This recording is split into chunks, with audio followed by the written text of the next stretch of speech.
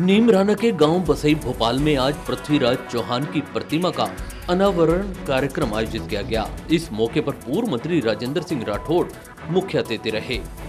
स्थानीय सांसद बाबा बालकनाथ व विधायक मंजीत धर्मपाल चौधरी भी मौजूद रहे। इस मौके पर राठौड़ ने कांग्रेस सरकार पर जमकर हमला बोला। राठौड़ ने कहा कि आज प्रदेश में लॉ एंड ऑर्डर की स्थिति खत्म हो चुकी है। उन्होंने बहरोड से पपला को थाने से फायरिंग कर भगा ले जाने के मामले का भी ज़िक्र किया और कहा कि पुलिस व्यवस्था पूरी तरह फेल हो चुकी है।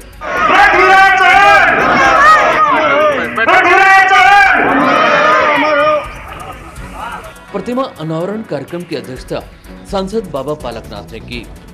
बसई भोपाल गाँव में सम्राट पृथ्वीराज चौहान की प्रतिमा का निर्माण माधो सिंह चौहान द्वारा अपने पिता स्वर्गीय रामविलास चौहान की स्मृति में कराया गया था। और मैं समझता हूँ कि इस राजतंत्र के अंदर जो भी हमारे सम्राट पृथ्वीराज जी चौहान जैसे लोग रहे वो आज भी उनका जीवन दर्शन हमें प्रेरणा देता है। अपनी संस्कृति को ज़िंदा रखने की प्रेरणा देता है। अपने मान और सम्मान के लिए सर्वस्व अर्पण करने की प्रेरणा देता है। वो समय चला गया। अभी महाराज सही कह रहे थे।